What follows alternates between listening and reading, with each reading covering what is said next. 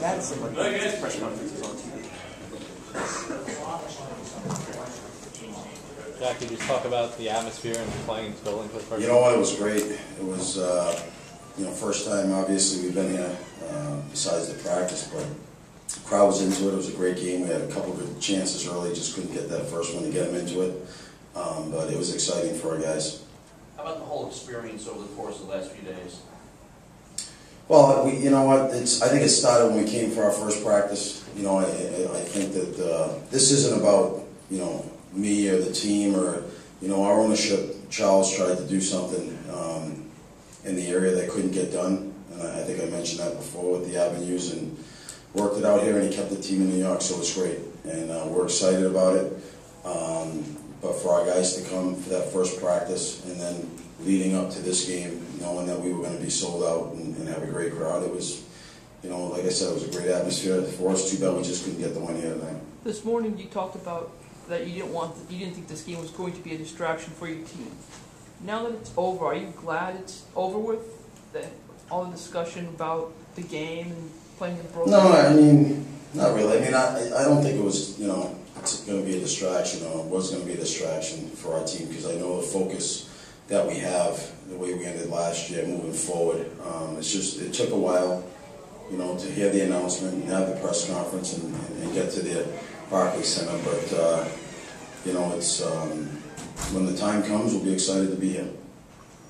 Were there moments in this game where it felt different than a regular preseason game might be for you, or uh, was, was were there anything anything that happened with the crowd?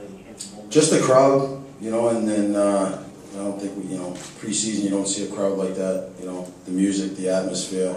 I mean, it was uh, when the guys came on the ice, you could tell, and uh, it had that feeling, just like we ended off uh, at the Coliseum last year against Pittsburgh. So, like I said, it was uh, everything we expected coming here, first class, and um, you know, just hopefully people enjoyed the game. They haven't seen the game here. Uh, everybody got a chance to come into the building. It's a great, it's a great venue. For guys that have been on the team when there hasn't been a, a whole lot of media coverage, an event like this and the Yankee Stadium game, what does that mean for those guys? Well, they're excited for sure. I mean, a game like this, again, it's um, beautiful venue. No one knew where this team was going when the lease was up in 2015, and now we know.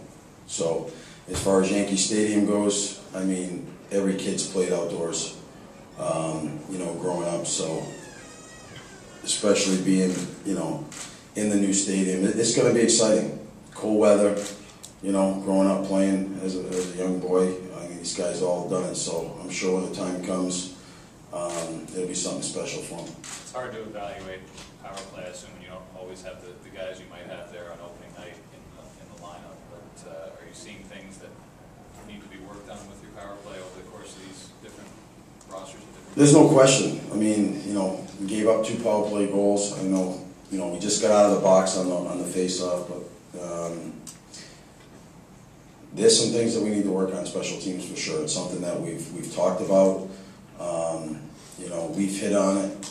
Next week will be a real big week for us as far as you know um, hitting a little bit more stride on, on some of those areas. But uh, for me, as we move forward with these ex, with these preseason games, it's, we're still in evaluation mode. There's still jobs to be won, and you know you could break it down any way that you're happy with the way some guys played, disappointed with some guys played, but. Um, there's certain guys that we talk about, they have to elevate their battle level if they want to be in the lineup on a consistent basis.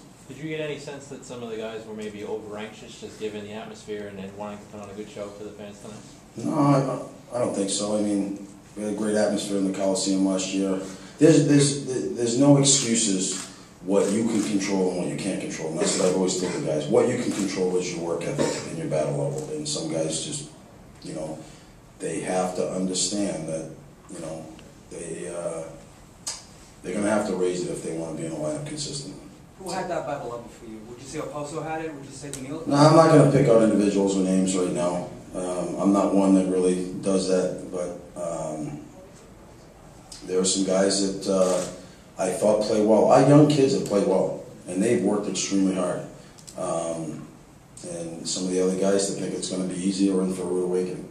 You've, uh, you've used Griffin in a few of these games now. Is he, has he earned that spot? That- He's earned it. He's played well. He's, uh, again, you, you talk about players for me that not only improve on the ice year to year, but the way his off-ice conditioning was. His test results were off the charts coming back from last year, and that correlates um, with his play on the ice. And he's going to get every opportunity for me uh, to put him in those situations to see what he can do. And if at the end of the day, anybody that can help us win or reach our goals will, will stick with us. But I'm very pleased with the way he's played up until this point. Is it nice to have those nine games if it gets to that point where you, he can kind of try out and, you know, his first year of his contract doesn't weigh in? Yep, I, I think that, um, you know, I think that Garth will, has been evaluating obviously a general manager, and when the time comes that over the next week, then, you know, you got tough decisions to make, but like you said, if you got a guy that's that close, you know, it wouldn't hurt to, to give guys some games to see if you can stick with your club.